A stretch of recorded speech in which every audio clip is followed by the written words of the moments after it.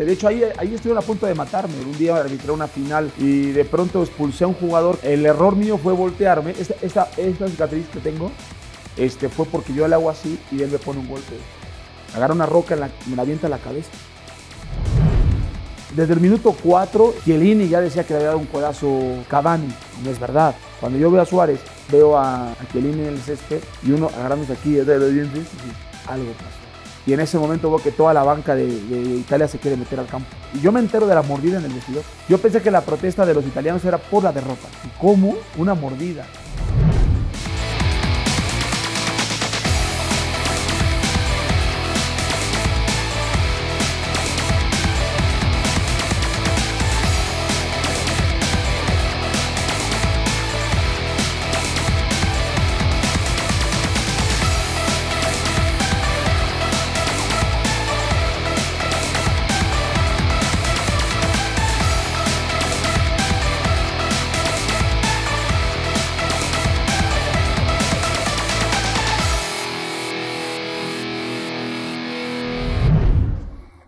Están? Qué gusto de saludarlos.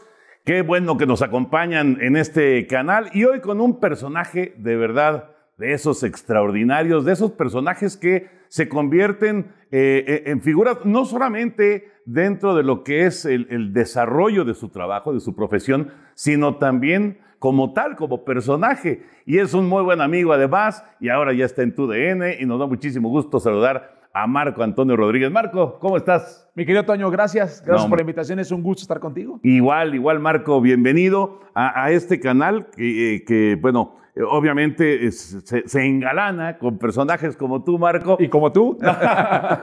Oye, Marco, platícanos de entrada. ¿Por qué convertirse en árbitro? ¿Qué, ¿Qué, fue lo que te convenció para convertirte en árbitro? Bueno, de, de, de, eh, la profesión en un principio no es eh, eh, apasionante, ¿no? Porque inmediatamente lo que pasa por tu mente es, voy a ser criticado, agredido, exhibido, etc.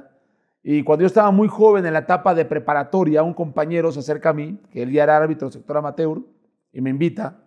Yo le dije, no, no, no, no, no tengo ninguna necesidad, a mí me gusta el deporte. Yo aspiraba a Juegos Olímpicos en esa época, estaba en el duatlón o biatlón, intenté hacer triatlón, no, no se me dio. Pero siempre soñé como un Ironman, como una cuestión de, de, medallas de oro, etcétera, ¿no? Alto rendimiento. De pronto me invita este compañero y yo le dije, no, ¿sabes qué? No, pero también estás en época de estudiante, en la época donde quieres salir con la novia, uh -huh. etcétera. Y me daba vergüenza pedirle dinero a mis padres. Dije, no, yo mejor trabajo y etcétera. Entonces de pronto él me dice, oye, eh, ¿quieres ser árbitro? Te van a pagar 18 pesos. Dije, bueno, 18 pesos en esa época, ya hace algunos años. Dije, bueno, no, con, tantos, con, no, tantos. no tantos. con tres partidos me alcanza para el cine, entre otras cosas. Dije, bueno, voy a intentarlo. Me voy a arbitrar y de pronto, sin saber las reglas, ya había jugado al fútbol, pero los jugadores me empezaron a creer. Yo tenía casi 16, 17 años. Yo marcaba y, y los jugadores me creían. De pronto, eh, un jugador marca un fuera de juego de un saque de meta, y, pero eso sí muy seguro, fuera de juego. Y, y, el saque de meta no hay fuera de juego. Uh -huh. Llega y me dice este señor, ¿sabe qué? Usted tiene mucha pinta de árbitro, pero es un ignorante de las reglas. Así, ignorante de las reglas. Y es verdad, yo no había leído las reglas. O sea, ya, había, ya, había, ya estaban del arbitraje, ya tenía un silbato, unas tarjetas, pero ya me daban partidos de los colegios amateur, pero no sabía las reglas. Y de pronto dije, no, no, esto es una vergüenza. Si me voy a dedicar a esto, tengo que ser muy profesional. Para eso se juega el Mundial de Italia 90. Y Edgardo Codesal dirige la final de Italia 90. Yo, yo, mis padres tenían los negocios, yo estaba en el negocio de mis padres y de pronto llega este, este joven llorando. Un mexicano dirige la final de las Copas del Mundo. Entonces yo le digo, a ver, a ver, a ver. Si yo decido ya dedicarme al arbitraje, dejo ciclismo, dejo atletismo, dejo todo esto y me dedico a esta profesión, ¿Puedo ir a los mundiales? Sí, es un camino muy largo, no cualquiera llega, pero se puede, claro, la ruta. Claro, voy a entrar. Tres mundiales y me retiro. Y en, la, en el tercer mundial arbitro la final y me retiro. Por eso inicié en el arbitraje. Increíble. Increíble. ¿Qué, ¿Qué, historia. Tú eres de la Ciudad de México. De la Ciudad de México, pero fuimos damnificados en el terremoto del 85. Mi papá ya quería salirse de la gran metrópoli y nos gustó mucho el estado de Nayarit. En Nayarit nos adopta, eh, la capital Tepic, y allá inició todo este mundo del arbitraje. La, la carrera, allá se juega muy buen fútbol. Los Nayaritas siempre han tenido buen gen competitivo en el fútbol y bueno, por eso allá iniciamos. Entonces, tus primeros partidos como silbante, digamos, fueron en Nayarit. En Nayarit, efectivamente. De hecho, ahí, ahí estuvieron a punto de matarme en, un, en el sector amateur. Un día arbitré una final y yo le digo eh, cavernícolas contra vikingos, porque el famoso torneo, torneo de los barrios que paraliza la ciudad, que paraliza el Estado. Y de pronto expulsé a un jugador que una semana antes, en una final de liga, me lo había encontrado, no en el torneo de los barrios. Y cuando yo lo expulso en, la, en el estadio, eh, él se va y se golpea con un tubo la cabeza. Eso fue cuando yo dimensioné, dije, este chico no anda bien, ¿no? Es agresivo. A la semana lo vuelvo a encontrar, pero en, otro torneo. Pone un golpe violento, yo llego y no le expulso, porque yo había medido las, condiciones de su carácter en la otra circunstancia. Llegué, pum, amarilla. Y dije, no más, no más como esto, no más. Y de pronto vuelve a hacer otra y dije, no te vas. Roja. El error mío fue voltearme. Esta, esta, esta cicatriz que tengo este, fue porque yo le hago así y él me pone un golpe. Y yo caigo de, nuca, literal, me noqueó. yo tenía, ¿qué te gusta? 17 años. Y en ese momento, lo primero que pasa es que mis compañeros de los, de los campos alrededor paran el juego y van a rescatarme. Él agarra una piedra, porque fue pegado a la banda, en la materia. Ahora, ahora hay canchas sintéticas, en esa época todo era polvo, ¿no? Sí. Agarra una roca y me la avienta a la cabeza. Pero yo no perdí conocimiento. Me mareó, pero siempre he tenido un tiempo con mucha reacción y una velocidad de reacción así, me volteo y me pasa aquí la piedra. Y me golpeo aquí. Y de pronto dije, me salvaron los compañeros, lo denuncié, le íbamos a meter a la cárcel, etcétera. Tuve un buen cuerpo de abogados, se aportó mucha gente muy amable conmigo, pero yo ya me venía a estudiar en la Escuela Superior de Educación Física, porque yo soy educador físico. Siempre fue mi sueño ser del ESEF, ¿no? De, la, de aquí, por el Palacio de los Deportes. Sí, sí, sí, lo conozco y de pronto eh, ya había, había pasado el examen para iniciar la carrera. Iba, eh, bueno, decido venirme a México, pero les iba a dejar un problema a mis padres, porque eran chicos hasta cierto punto, de pronto tener yo una persona en la cárcel porque me agredió y yo dejar a mis padres. Sí, era una bronca, claro. La venganza y todo, decidí, le dije al abogado, que deja todo libre, vamos, se acabó, y yo me vengo a, México. Estaba loco este cuate. Sí, es que estaba mal. El amateur es así. Sí, bueno. El amateur es así. No, estoy de acuerdo. No soy el único árbitro que lo han agredido. Los árbitros de fútbol amateur eh, adquieren muchos recursos, también muchos vicios cuando no tienes vicios, me refiero en cuanto a eh, no, no, ser muy contundente en las reglas, sino sales nada más eh, cumpliendo. Pero en términos generales, esos recursos te dan un bagaje importante. Bueno, llegas a, la ISEF y ¿cómo, cómo viene el, el paso a ser árbitro profesional? Bueno, ya en, antes del paso ya de venirme a la Ciudad de México, en el 93, de pronto eh, hay una convención de árbitros en Culiacán para talentos. Llega el teniente coronel Mario Rubio. No, don Mario. A, don Mario, sí. Y yo dije, yo vine a la Ciudad de México, pregunté dónde estaba la Federación Mexicana de Fútbol, Abraham González en esa época, pregunté dónde estaba la comisión de árbitros, toqué la puerta, y les dije, yo quiero ser árbitro profesional y quiero ser árbitro mundialista, pero ¿cómo se, cómo, cómo se entra a este tema? Y estaba un secretario, el profe Castillo, que en paz descanse, y se me queda viendo y me dice, joven, ¿de dónde eres usted? De Tepic. Bueno, soy de México, pues de Tepic. Dice, va a haber una convención en Culiacán, Sinaloa, y van a buscar talentos arbitrales. Vaya. Y de pronto le dice a su jefe de allá, de la delegación de Tepic, que yo autoricé que usted va. Llego a Tepic y le digo, ¿saben qué? Fui a México y la grilla, la política deportiva que siempre existe. ¿Por qué te fuiste? ¿A quién le pediste autorización? te, brincaste. Te brincaste. dije, bueno, yo no sabía. de los procedimientos, yo, yo tengo hambre de llegar, pero no sé los procedimientos, pero yo toqué puertas. Y me dijo que yo vaya a Culiacán. Bueno, se negaron, hicieron todo lo, todo lo posible para que yo no fuese, pero se dio la oportunidad y, y en un momento de dos sí fui. Se abrió la puerta y vámonos. Y estando en la convención de árbitros en Culiacán, de pronto Mario Rubio, teniente coronel, acaba de llegar a la comisión de árbitros el autobús no llega del hotel a la, concentración, a la cancha, y de pronto unos sí llegaron, otros no llegamos. Yo estaba nuevo, no sabía. Y llegamos tarde. Don Mario se enojó, típico coronel, teniente coronel, y dijo, todos a correr la pista de atletismo. con la bandera de asistente. 40 minutos. Alrededor de la pista en Culiacán con toda la temperatura. No, alta. man. Y yo dije, bueno, pues yo, te- yo, yo venía del deporte de alto rendimiento, bueno, del triatlón, biatlón. Aguantabas. Pues sí, y estaba muy magro, Ajá. jovencito, pum, pum, pum, y empecé a correr, correr, correr, correr, correr, correr con la bandera. Muchos se fueron cayendo como soldaditos. Yo fui avanzando, avanzando, avanzando, termina el evento, le llamo la atención a Don Mario Rubio, se me quedó viendo, nada más. Luego aspectos técnicos, carrera y todo, buscando talentos de árbitros. De pronto me pedían mi nombre la gente, los importantes, ¿no? Y el día que se hace el examen final, paso el examen, el escrito, el de reglas de juego, etcétera. Y en la convención de Culiacán lle- llega don Mario Rubio y dice, ¿quién es Marco Antonio Rodríguez? Y dije yo, ¿de dónde es usted? De Tepic. Me dice, joven, hemos visto su, su desarrollo y todo, usted va a ser árbitro profesional. Uf, en Culiacán, ¿cómo sí? O sea, se había cumplido, se había cumplido la- el Claro. objetivo, claro. De pronto me dice, eh, vas, a, vas a tener ya partidos próximamente.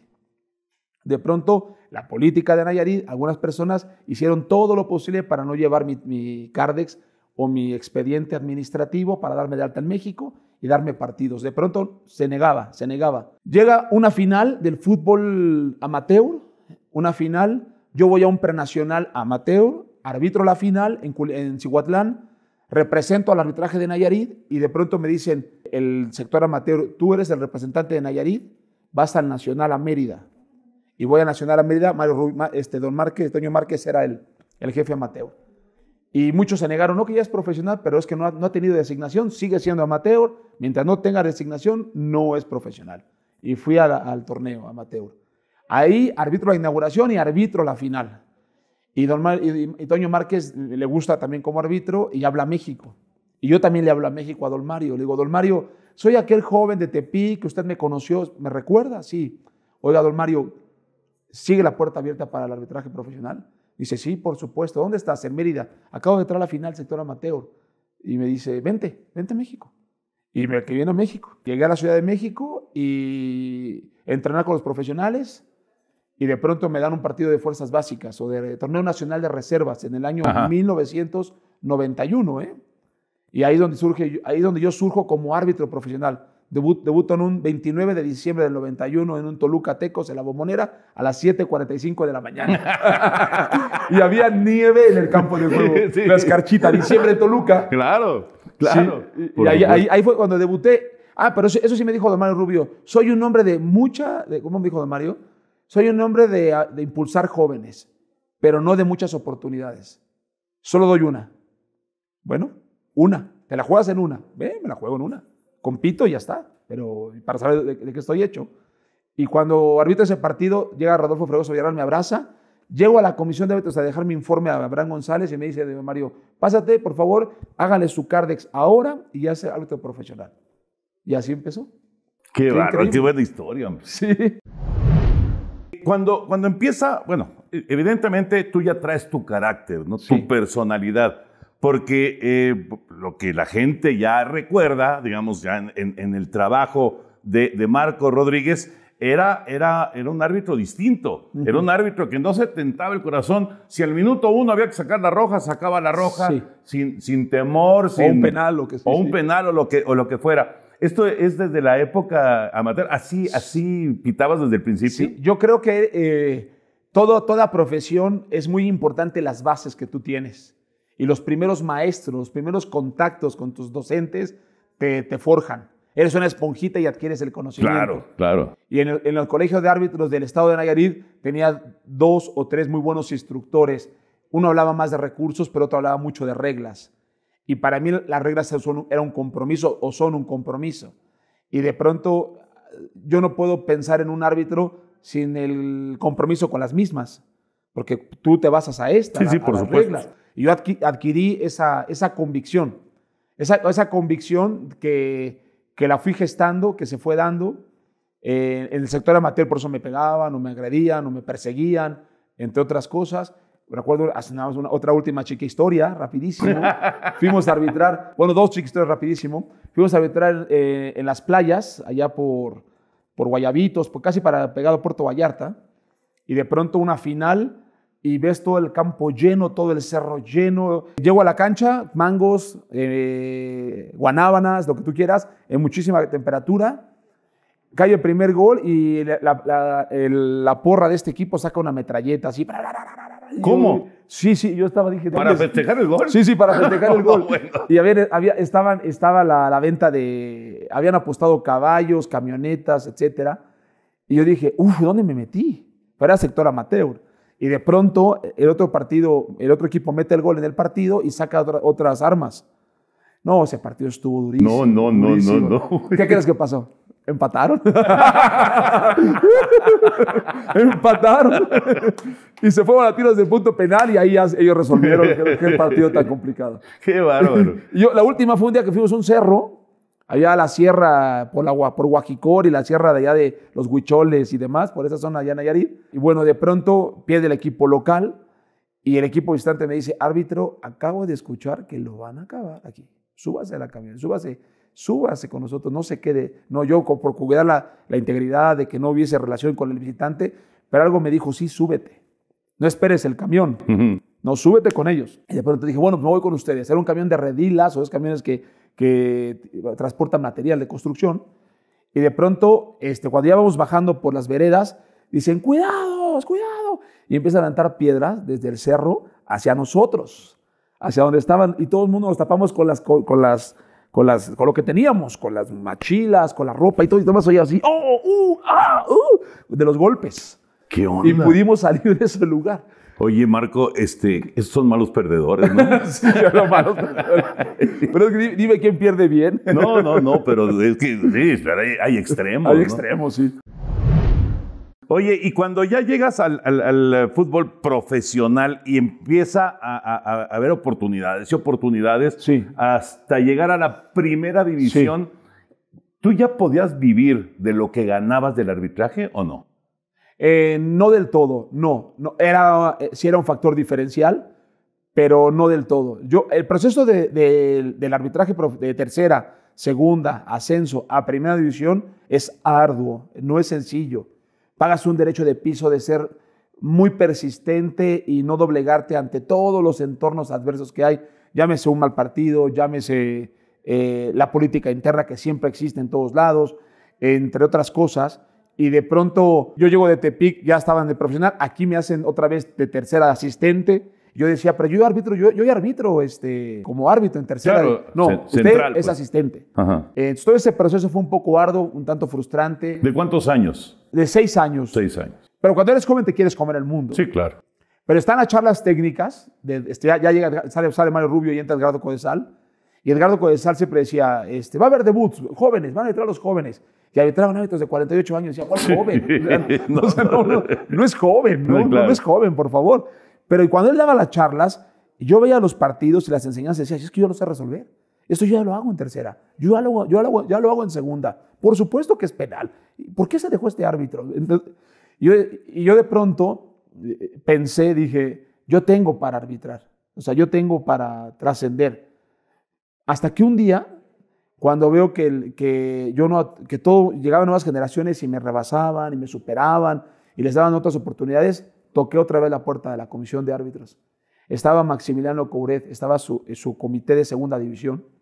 Toqué y le dije, don, le dije, don Max Couret, eh, perdónenme. Ah, porque yo, yo estaba casado, me casé muy joven. Mi esposa fue árbitro, también es profesora de educación física. Nos conocimos en la universidad. Y de pronto le digo a mi esposa, oye amor, yo creo que tengo mucho para trascender a nivel internacional como árbitro y llegar, pero si la comisión de árbitros no me ve ese talento, no quiero continuar en tercera división viviendo. No, no me interesa. O sea, no voy a perder mi tiempo. Sí. Y le dije, voy a tocar la puerta, que me digan con claridad si tengo o no tengo. Así de claro. Toqué y le pregunté a don Max. Sí se me salieron las lágrimas, pero de esa frustración que quieres, que, que ves injusticias y dices, o, o so- o- o sirvo, no sirvo, pero, Pero díganme. pero, no, pero díganme. Ujú. Llegué y le dije, don Max, este, he hecho esto, he trabajado así, tantos partidos, tantas finales, y no trascendido. Y se quedó viendo, me dijo, joven, usted va a llegar, pero tranquilo, va a tener oportunidad. Tranquilo. Fíjate lo que es la experiencia, de regularte como joven, cuando te quieres comer el mundo, pero alguien tiene que salir como un mentor tuyo a decirte, respira, piensa distinto, calma. Y así fue. A las, como a los dos meses se da el torneo del sol, un torneo del Sol que hacían las selecciones de, te- de tercera división, Ujú. un muy buen torneo. Y porque yo todavía no trascendía, todavía tenía esta jerarquía, me mandan a ese torneo. Y ahí arbitro la final y la inauguración. Y Camargo mi fue mi asistente.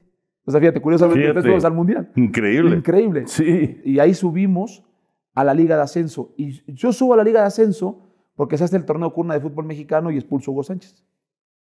Llega Hugo Sánchez como tragueño, Michel, tal, tal, tal. Ujú. A mí no- yo no expulsé a Hugo Sánchez, o sea, yo no pensé ser Hugo Sánchez. Yo nada más vi un chinillo que, que protestó con los pelos así negritos, así, que no sé qué le grita al asistente. Dije, pum, no le grita al asistente, de fuera. Fuera, no le grita al asistente. Cuando estaba echando, dije, "Ah, es Hugo. Ya se fue. Perdón. Ya se fue. sí, pero es Hugo, pero bueno, en ese momento tuve la conducta, no la persona. Ajá. Y bueno, ahí se da un poco eh, cierta imagen por parte de la comisión de árbitros. Ya me estaban siguiendo, ya tenía ya más un seguimiento de Edgardo Codesal, hasta que un día en una charla eh, llega Eduardo Bricio y me, me dice, ¿cómo ves a Atlante Pumas? Atlante Pumas. "Mm, bien. ¿Pero de qué? Ya sé, nada más, ¿pero de qué? Tú tranquilo. Así me dijo, tú en corto, así, tranquilo, tú tranquilo. Y llega Edgardo Codesal. Señores, designa- eh, va a haber debuts en primera división. Eh, Marco Rodríguez, debutas en primera división. No, hombre, yo quería, yo quería llorar, quería gritar, quería decir, wow, ya subí, ya trascendí, se logró. Pero, pero sabíamos que era el primer partido, que esto apenas empezaba, que todo lo demás era, era la, la experiencia, pero lo verdadero iniciaba en primera división. Claro. Y me da, me da, me da el debut, eh, me voy en autobús, nadie me dice si me puedo ir en avión, nadie me dijo nada. Yo preguntaba, pero no, no, no eran muy claros. Los compañeros que fueron conmigo de asistentes tampoco fueron muy solidarios.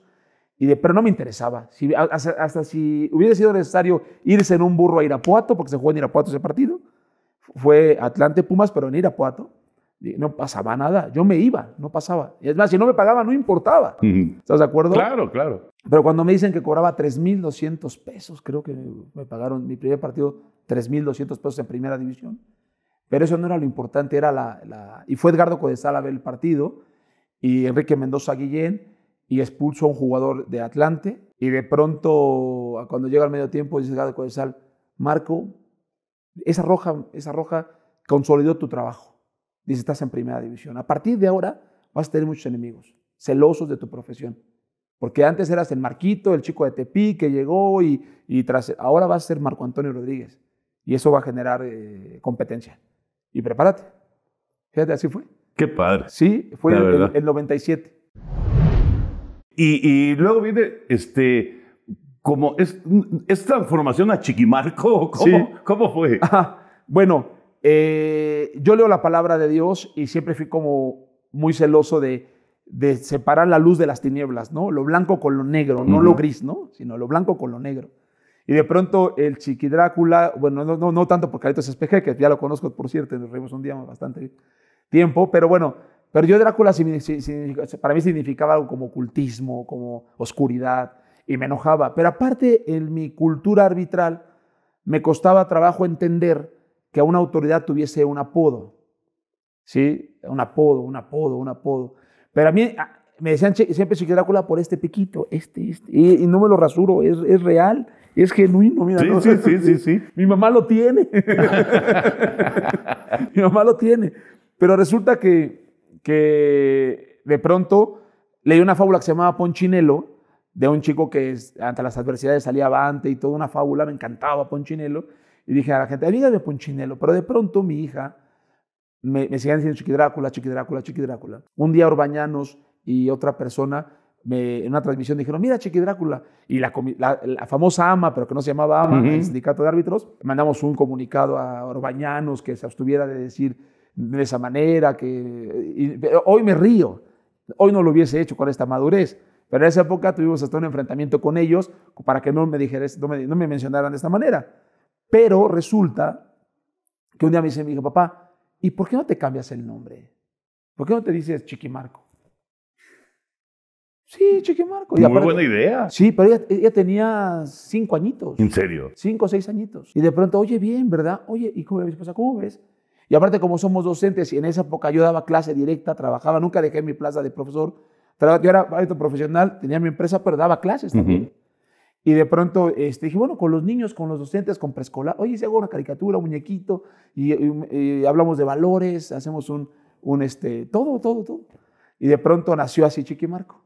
Precisamente, pero porque mi hija fue la que me inspiró a decir, papá, ponte Chiquimarco. Y así nació. Pues fue muy buena idea, la verdad. Muy buena idea. sí. De, de una niña de cinco años, De pero una muy de- buena idea, Sí, sí. sinceramente.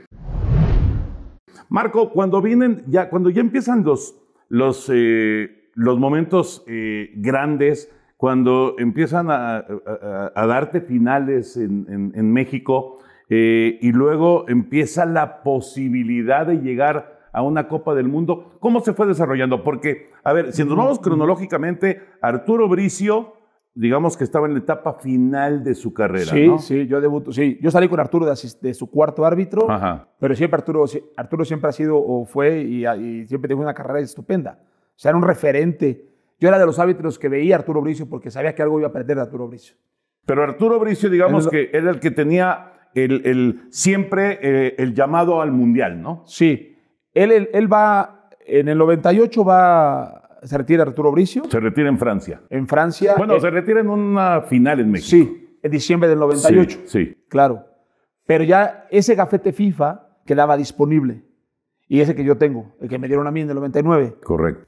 Pero yo, te, yo entro a los 25 años al límite. Yo nací en noviembre y Edgardo me dijo, yo tenía ya dos años en primera división porque yo debuto en primera división a los 23. No, bien chavo, qué bien chavo, bárbaro. claro. Pero es que cuando yo, cuando yo empecé como árbitro, yo sancionaba una falta, llegaban siete a. O sea, no- nadie me creía. Sí, sí, sí. Porque estaban acostumbrados a, a la, a la edad de León Padró Borja, de Marrufo, de Arturo, y de pronto llega este, este jovencito que rompe un paradigma de 23, nadie lo creía. Pero bueno, ahí empecé como a imponerme un poco, y Edgardo me dice, ¿sabes qué? Te voy a convocar como árbitro FIFA. El gafete de, de Arturo pasa para ti porque eh, estás a un mes y este, este gafete no se puede perder y creo que has hecho buena carrera. En dos años has mostrado que tienes perfil y Edgardo me, me- me integra a la FIFA en el año 99, a los 25 años. Ahora, Y ahí eh, empieza todo. sí, porque eh, podremos, podríamos decir que, que Marco Rodríguez eh, toma la estafeta de Arturo Bricio. Sí, de alguna manera, eh, de- en la línea de FIFA, sí, porque se va Arturo, pero también ya estaba Armando Archundia. Armando Archundia también siempre ha sido un árbitro, para mí siempre fue un árbitro, fuimos, somos amigos, pero fuimos adversarios deportivamente hablando, porque él quería un mundial, yo quería un Iba- mundial. iba- iban por, claro, iban por los, Claro. por los grandes partidos. por los ¿no? grandes partidos, Sí. por, las, por las Copas del Mundo. De pronto todo decía- todos, todos se hubiese pensado que Archunda seguiría como el que iba a llevar la, la batuta. Y sí, Archunda tiene una carrera también estupenda. Estupendo. Y llega y, y Ar- Armando empieza con la carrera, pero yo ya, él, ya estaba en Japón, lo contratan en Japón, regresa, yo inicio como árbitro internacional. Mi primer partido internacional fue un caos, un caos. Fue Guatemala-Paraguay, Copa 99, un amistoso que salí agredido. El hijo del presidente de la República me, ag- me agredió con sus guardaespaldas. Eh, iba ganando Guatemala, Paraguay le da la vuelta y, este, y se arma un caos. Entonces, imagínate, mi primer partido internacional, así que empezó en Guatemala agredido y terminó en el Mineirazo, o sea, eh, lo, lo internacional. Sí, sí, sí. O sea, empieza acá, en Guatemala, y termina en el, en el Brasil 2014. Sí. Pero se empieza a dar la carrera. Edgardo Codesal era presidente de la Comisión de Toros de México, miembro de la FIFA, y de alguna manera te daba ciertos estímulos eh, deportivos para que tú hicieses carrera en la CONCACAF, nombre, la gente te conociera, premundiales sub-17, premundiales sub-20.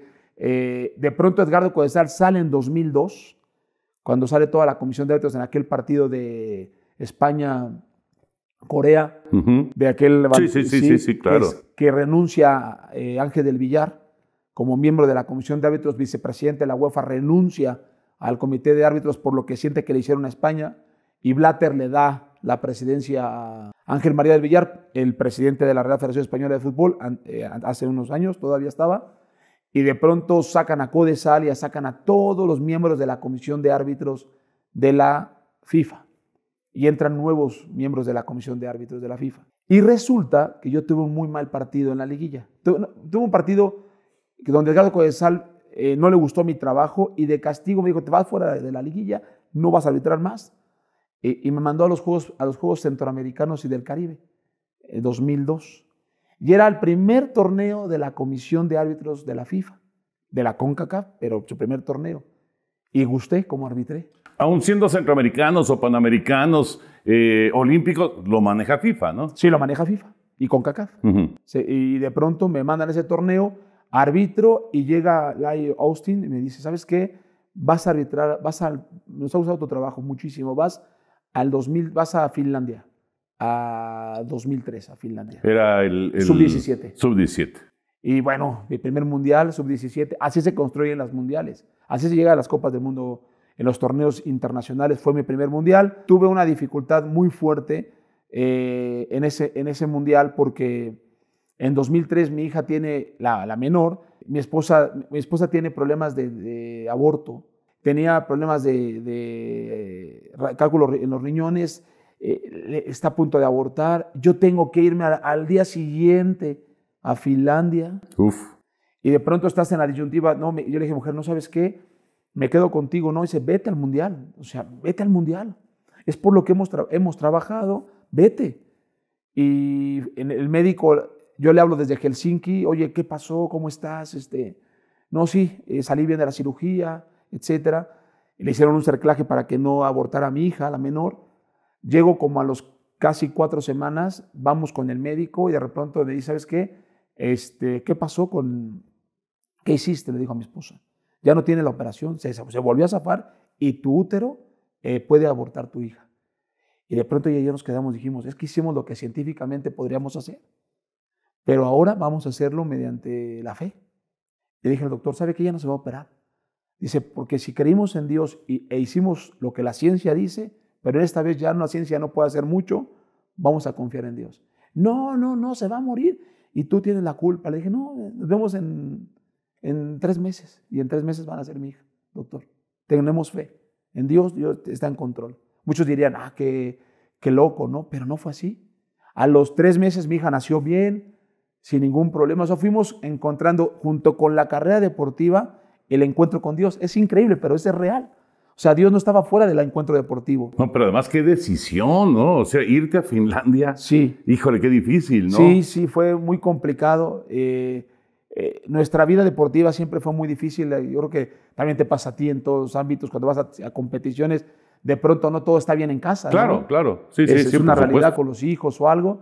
Y, pero bueno, había que confiar y ser Tenemos una vida, ¿no? Sí, sí, una vida y bueno, nace bien mi hija. Bendito sea Dios. Gracias a Dios, sí. Y luego en 2004, ese es 2003, 2004 eh, viene Copa América. Y en 2004 arbitro Copa América en, en, este, en Perú. Arbitro la semifinal Brasil-Uruguay.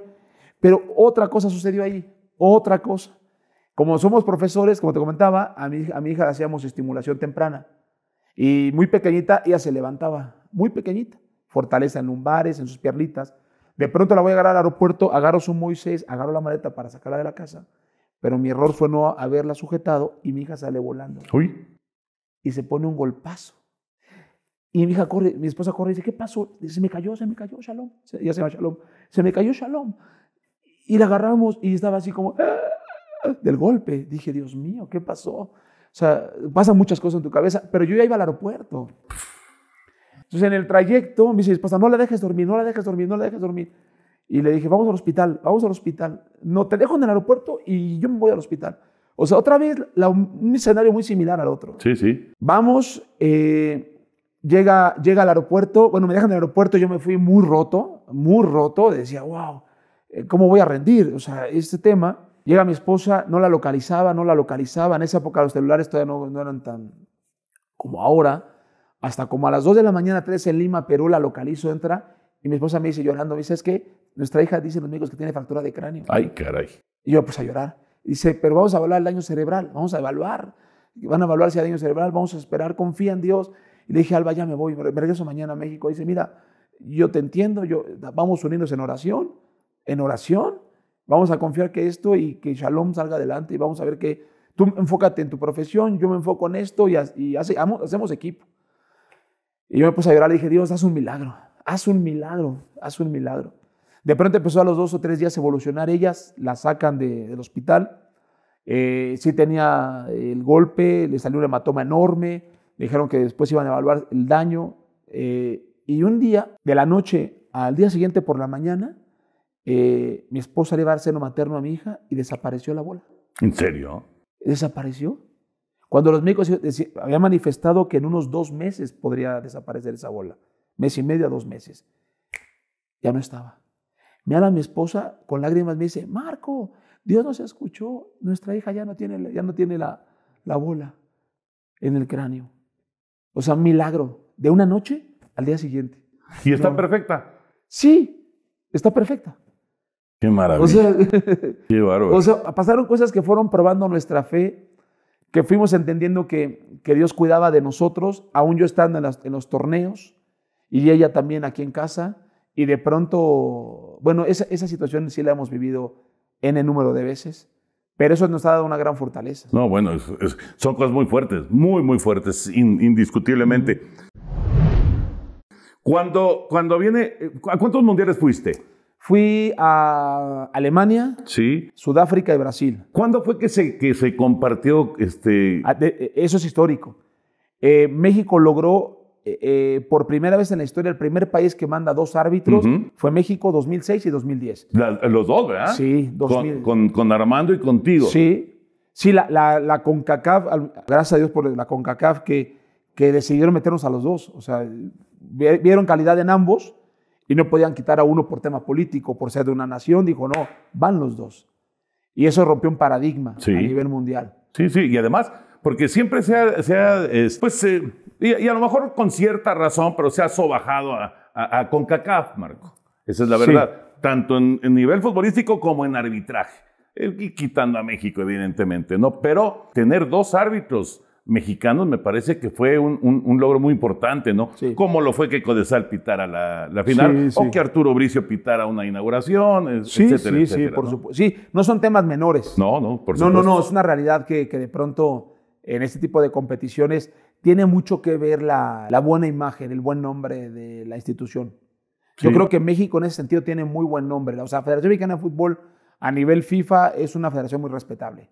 Tiene prestigio, dos Copas del Mundo, 70, 86, Compa Confederaciones, premundiales, eh, en selecciones son competitivos. O sea, el mexicano, la selección, el futbolista, el árbitro, tiene buen, buena imagen. Ahora hay que consolidarlo, hay que hacer un buen trabajo, eh, pero de pronto hay un buen nombre y eso ayuda mucho.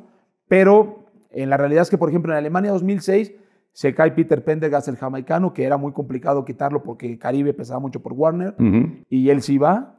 Eh, eh, iba Batres por parte de, la UNCAF, de Centroamérica, y siempre los norteamericanos pesan como Brian Hall, etcétera, tal, tal, tal. O sea, no era fácil ganarse un puesto ahí. Y de pronto nos nominan, pero sucedió algo muy interesante.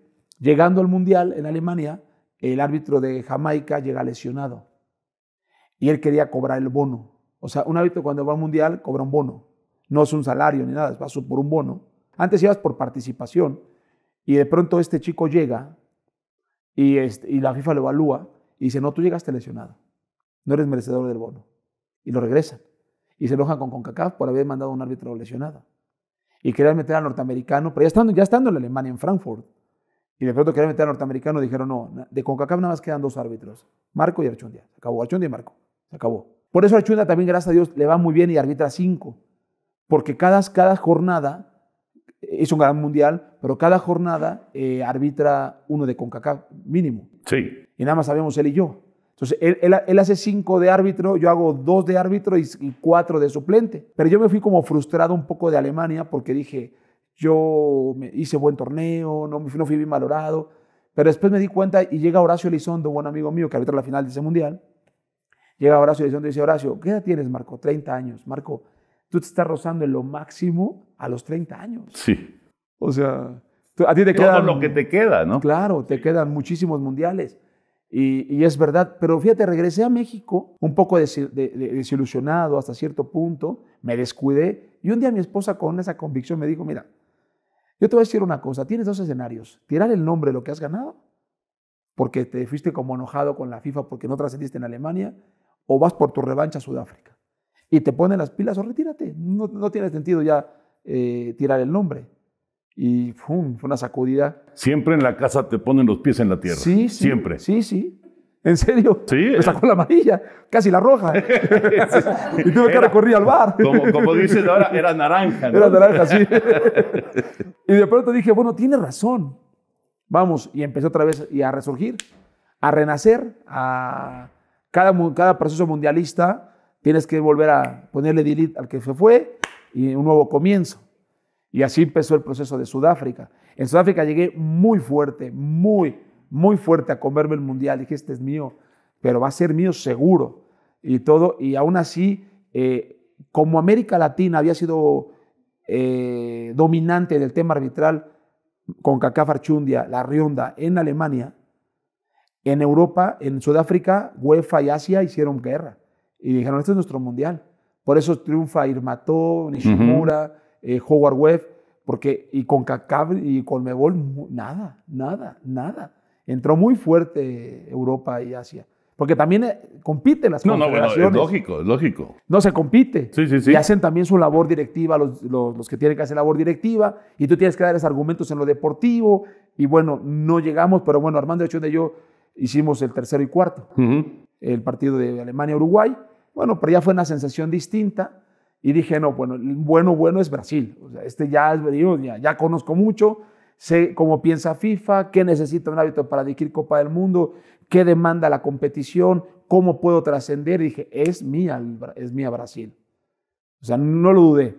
Y yo recuerdo que dije a mi mujer, en Brasil me retiro. Mi madre tiene una carta que ella me habló, ah, me dijo, hijo, ¿recuerdas cuando tú escribiste una carta, cuando dejaste Tepic el 2 de agosto de 1993 y me dijiste, hijo, vas a, voy a, mamá, te amo, pero voy a ir a tres mundiales y voy a vetarte la final. ¿Te acuerdas? Sí, yo la tengo. ¿En serio, madre? Sí, yo la tengo. Sí, es, es algo que dices, wow, ¿cómo olvidarlo, no? O sea, estamos hablando del 93. Oye, y cuando, cuando te dijo eso tu mamá, este, ya, ya estabas. eh, Ya estaba en Brasil. Ya estabas, ah, ya estabas en Brasil. No, ya estaba en O Brasil. sea, ya estabas en tu tercer mundial. Sí, ya estaba en el tercer mundo. Ajá. Y de pronto yo recuerdo que me acerqué con la comisión de otros les dije, miren, ustedes tienen muy buena intención, pero yo con la experiencia que ya tengo y todo lo que he vivido, con lo que ustedes me quieren aparentemente estructurar para llegar al mundial, no me va a alcanzar. O sea, no me va a alcanzar. O sea, yo quiero ser disciplinado con ustedes, pero ustedes déjenme ya volar, porque ya estoy por encima de lo que ustedes tienen. Y yo no quiero, ya, he comprobado que por ser muy disciplinado con sus formas de pensar y, su metodología, no trasciendes en mundiales. Es mi responsabilidad Brasil. Déjenme hacer mi trabajo en Brasil. En Brasil tuve un, invertí con un departamento multidisciplinario que salió de mi bolsa, no salió de la comisión de árbitros. Le pagaba a mi fisioterapeuta, a mi, a mi traumatólogo, a mi dentista, a mi nutriólogo, al tema de la cámara pervárica, al tema de todo, de todo, a mi maestra de inglés aparte, eh, todo, todo lo invertí. Porque dije, no, yo no, no voy a desaprovechar otros cuatro años un mundial para no trascender. Ya hice este procedimiento, no funcionó, esto es lo nuevo. Eh, tuve un proceso, un año y medio estuve, tuve un proceso muy fuerte de síndrome de fatiga y de sobreentrenamiento, muy, me fue muy mal, que no pasé las pruebas físicas aquí en México, eso es un escándalo que estaba fuera del mundial, pero cuando va- hacemos un examen médico y decía, este deportista no está apto para realizar actividad física. ¿En serio? ¿Y te sentías mal? Me, me apagaba, eh, Toño, corría y entrenaba y me apagaba. Haz cuenta como un botón, no tienes energía, no tienes energía, no avanzas. ¿Qué, qué, qué cosa Qué cosa. increíble? Pero mi mente decía, puedes. Dale, Marco, dale, el diálogo interno. Compite, dale, tú puedes. Vamos, dale, respira. Pero, uh, uh, El cuerpo no te, no, lo- no. no te Y respondía. resulta, Wow. pero curiosamente, como dos semanas antes de ese, de ese resultado, eh, pero yo le decía, con todo respeto a Aarón Padilla y a Iñárritu y a todos los directivos, Sí, les decía, los que estaban al frente del- Sí, de los en árbitros. su momento le decía, de, a los árbitros que tenemos una carga de mundiales, denos un trato diferente en cuanto a la dosificación de las cargas. Porque nosotros no tenemos el descanso que toda la gente tiene. Nosotros vamos, acaba el torneo y ya estamos en Copa Oro. Acaba Claro. el torneo y estamos en Claro. Copa América. Y si, y si hay fecha FIFA, van a pitar en algún Eh, lugar. Y necesitamos ir regulando ese tema. No hicieron. No, no, porque si no se va a ver favoritismo. No es favoritismo, es ciencia aplicada al deporte. sí, claro, por Pero supuesto. bueno, no lo entendieron. ah, Y yo tenía, ya tenía oh, dos, casi 10, 11 años sin parar, con vacaciones mm, casi nada. Porque llegabas aquí y luego, luego a la liga, y Sí. etcétera. Y de pronto el cuerpo se- No, el árbitro, de veras, el árbitro no tiene vacaciones. Bueno, sí tienes cuando eres un árbitro eh, nacional. Sí, O- pero, ya, cuando- con, ya con gafete FIFA, ¿no? Eh, no, cuando ya estás en la lista de top FIFA ya no tienes descanso. Exacto. Entonces de pronto eh, veo que mi cuerpo ya no evoluciona. Eh, yo le digo a Mancilla, le digo, Mancilla, tú sabes que no soy flojo, tú me ves entrenar, pero algo le está pasando a mi cuerpo, o sea, yo ya siento algo diferente.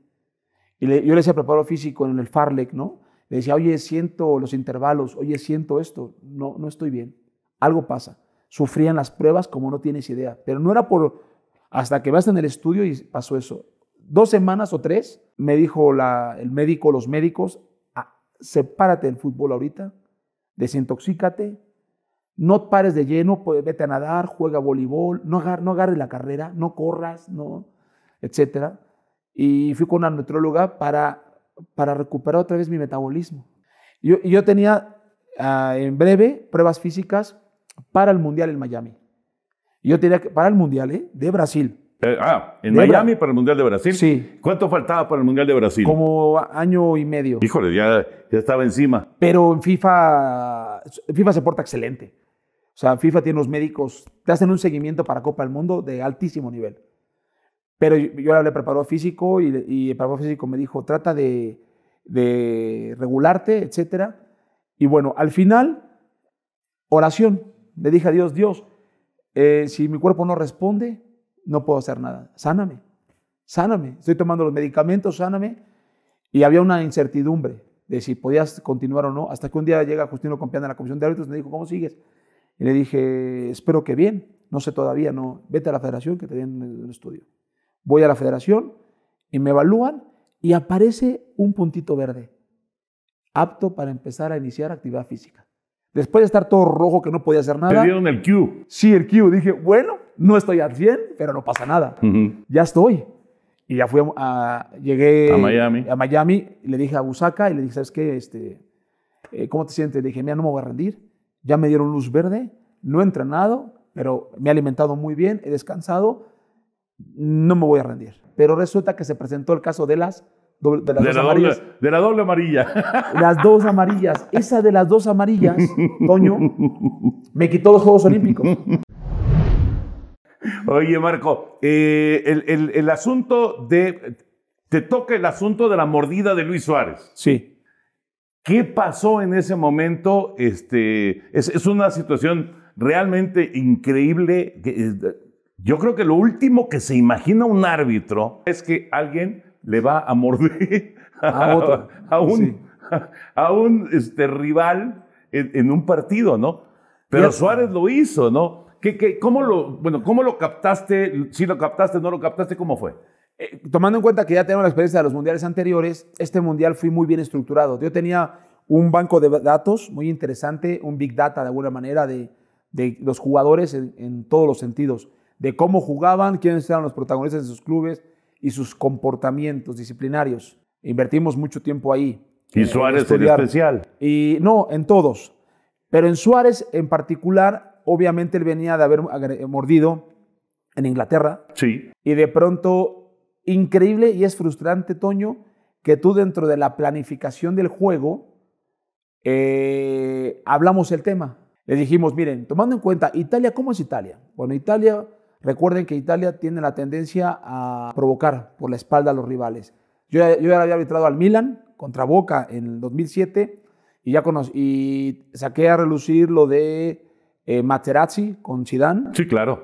Sí, que, Que lo le sacó, provocaron, lo sacó claro. totalmente de balance, sí. Y había sacado lo que le hicieron a Luis Enrique en Estados Unidos. Entonces dije, bueno, el comportamiento del italiano usa mucho la palabra, los gestos y provocan. Aquí, ¿quiénes son los posibles candidatos a que los quieran desestabilizar emocionalmente? Luis Suárez. ¿Estás de acuerdo? Entonces Ujú. dije, puede pasar esto, pero Luis Suárez, ¿cómo reacciona? Ah, bueno, para, reacciona así, reacciona así, reacciona asado. O sea, eso ya estaba antes del partido. En el previo, nuestra mente, esto ya no sería factor sorpresa. Pero resulta que el partido se da y de pronto, eh, desde el minuto 4, ya Chiellini ya decía que le había dado un codazo eh, Cavani, y no es verdad. Y ya, ya, ya, "Eh, te-", y empezaban, eh, Rosso, Rosso, y, eh, pero que, A ver, aquí tranquilos, ¿qué pasa? Esto, o sea, ya empecé a ver como algo detrás de mí. Entonces, yo ese partido, les, yo les decía a ellos, háganme cobertura. Yo inventé como el tema, el concepto cobertura arbitral, es una invención mía. Háganme cobertura arbitral. Yo voy por las de enfrente y ustedes me cubren la espalda, etcétera. El partido es de alto, de alto riesgo, temperatura alta, etcétera. Y se fue dando el juego de una manera difícil. Cuando yo veo a Suárez y veo a, veo en el césped, y uno agarrándose aquí de los dientes, dices, algo pasó aquí. Y volteo a ver a Marvin, que es muy bueno, y él tampoco sabía qué había pasado. Y volteo a ver al cuarto árbitro, le pregunto, tampoco sabía. Y el asistente 2 me dice, tocayo, tocayo, tocayo, tarjeta amarilla. No, no, no, no, no, no, no, no, no me digas que tarjeta amarilla. Díganme el hecho. La decisión disciplinar la tomo yo, pero díganme el hecho. ¿Qué pasó? ¿Qué pasó? Y nadie te decía nada. Pero tu experiencia te decía, aquí sucedió algo grande, grande y muy grande, pero no tengo argumentos. ¿Qué hago? Nada, no, puedo hacer nada. Me fui conforme a la, normativa, pum, reanudamos, le digo al portero, a, todo, a los centrales, juegue, juegue, play, play, play, vámonos, vámonos, vamos, jugamos, jugamos. Pero la mente es, no te caigas, Marco, ha pasado algo grande, y luego a los asistentes jóvenes, sí les regañé, les dije, para un saque de banda y saque de esquina, cualquier asistente. Pero para las... Es para estas, ¿no? Sí, sí, sí, para las grandes son estas. Sí, claro. Claro, en las buenas. Es. Pero fue, la experiencia ayuda mucho, Toño, mucho.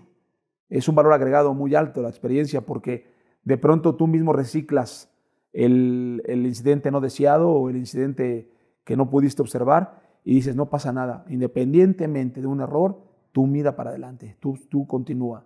Y empezamos a trabajar el partido de esa forma hasta que se da el gol de, balón parado de, Godín. Eh, y en casi, casi en el último minuto, en la última jugada del partido, casi pegada a las bandas, hay una jugada, pequeña falta, que bien las puedes dejar, no la puedes Pero dije, no, yo decido, esta sí se marca, va para allá, para Pirlo, y en ese momento veo que toda la banca de, de, Italia se quiere meter al campo, pensando que yo ya había terminado el partido. Y dije, no, es tiro libre. Pero eso me dijo, ellos quieren meterse al campo para justificar su derrota. Sí, claro. Contigo.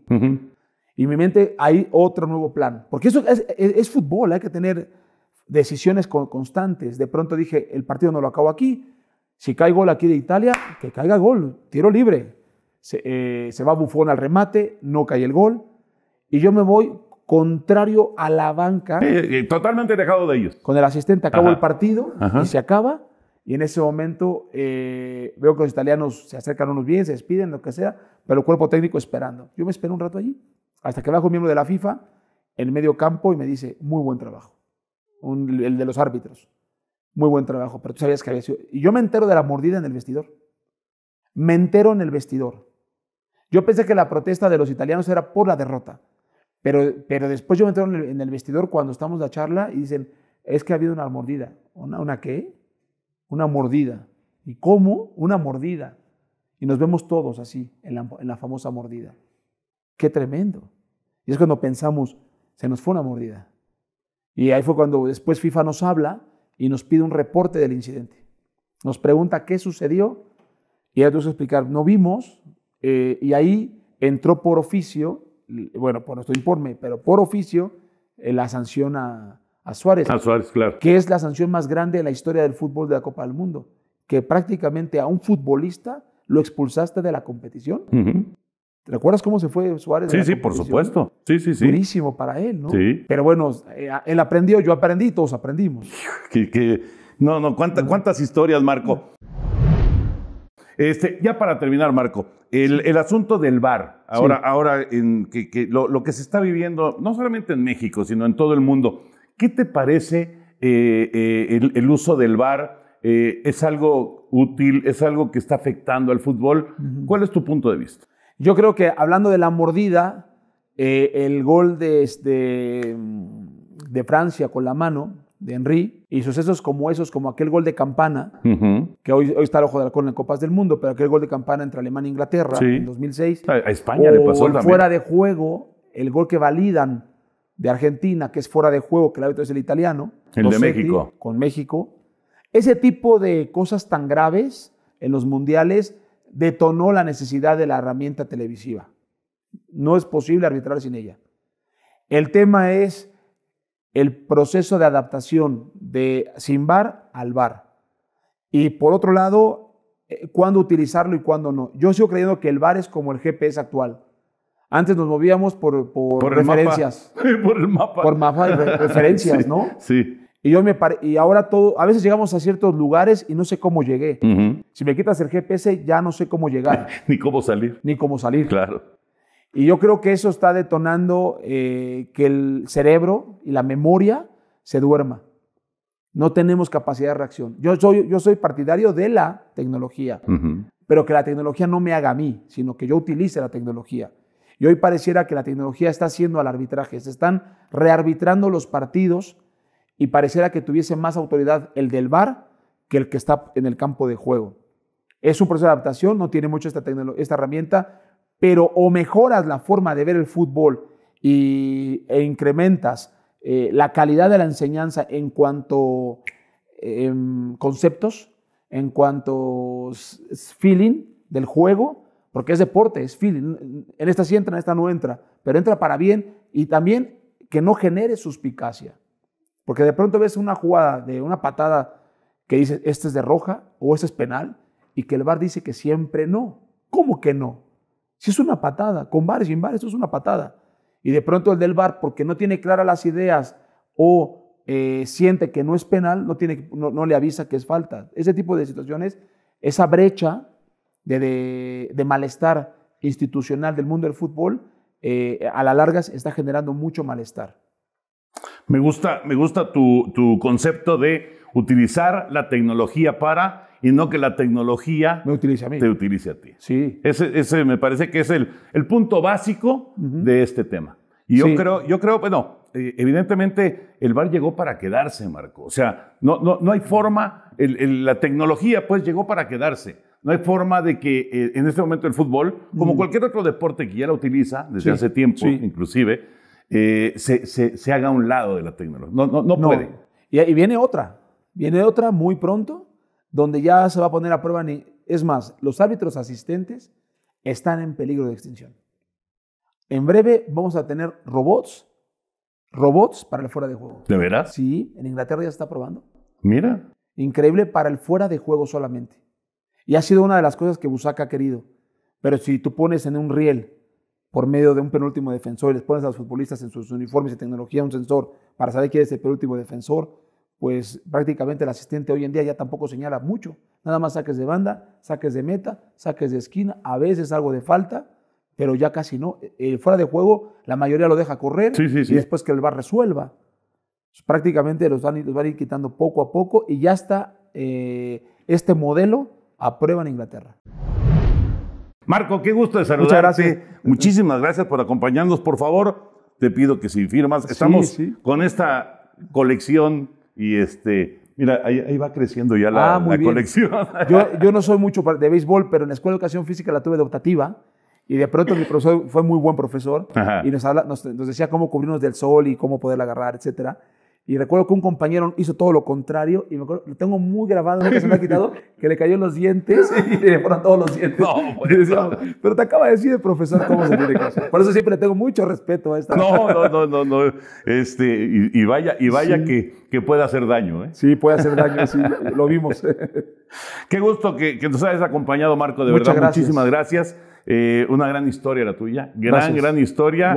Y, y, además, pues de, de, de, ejemplo y de, por supuesto, de, tenacidad y de, y de, mucho trabajo. De verdad, felicidades. Sí, Toño, muchas gracias. Y bueno, y felicidades por tu canal y que siga teniendo mucho éxito. Felicidades. Gracias. Gracias, gracias a Marco. Y bueno, nosotros así cerramos este, este capítulo del día de hoy con Marco Antonio Rodríguez, el famoso Chiquimarco que nos acompañó. Y ya lo saben, sigan, síganme muy pendientes de eh, todos los capítulos que tenemos aquí en el programa. Gracias, gracias Marco, muchísimas gracias y saludos para todos.